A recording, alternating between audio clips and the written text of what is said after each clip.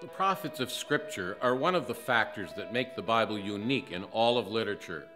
When the astrologers and soothsayers in Nebuchadnezzar's court couldn't unlock the secret in the king's dream, Daniel exclaimed, But there is a God in heaven who reveals secrets. Indeed, there is, and the Scriptures are full of such proofs.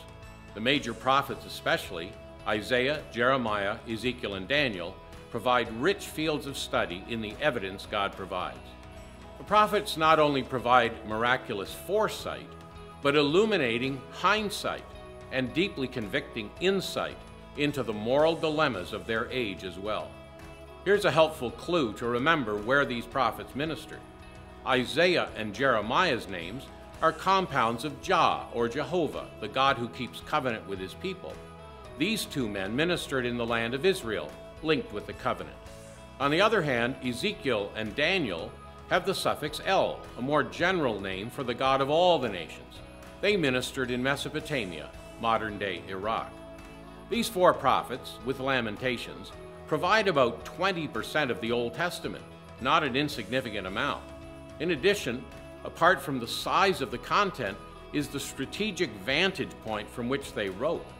They were at the crossroads of the ancient world and saw the rise and fall of Assyria, the defeat of Egypt, the collapse and exile of the northern kingdom of Israel, the triumph of Babylon, and its eventual destruction of Jerusalem, as well as the rise of Medo Persia. Collectively, they ministered for over 200 years, from about 740 to 537 BC. Isaiah is the most quoted Old Testament book in the New Testament. 61 passages are cited 85 times. It also speaks more about Christ's person and work than any other Old Testament book. Jeremiah is the longest book in the Old Testament. No wonder, because like Methuselah, who lived the longest, it's an expression of the long suffering grace of God. When Methuselah died, the flood came. When Jeremiah finished preaching, Jerusalem fell. Ezekiel tells us the most about the restoration of the nation of Israel and the millennial blessings that will then occur. Daniel is the linchpin of prophecy, explaining future events in great detail, and like a key fitting into a lock, it helps reveal the mysteries of the book of Revelation. This is one of the great transition periods in history.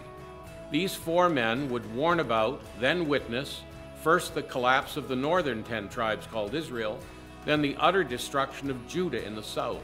Thus would begin what the Lord Jesus called the times of the Gentiles. And it continues until the restored Roman Empire is crushed to powder by God's champion. Note carefully, there's no suggestion in these books that civilization will improve under the influence of Christianity until the kingdom is ready for Christ to return to the general acceptance of humanity.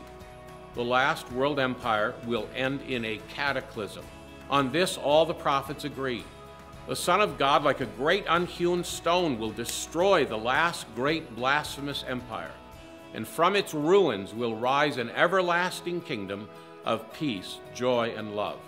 And our Jesus will get all the glory. And that's our scripture snapshot of the major prophets.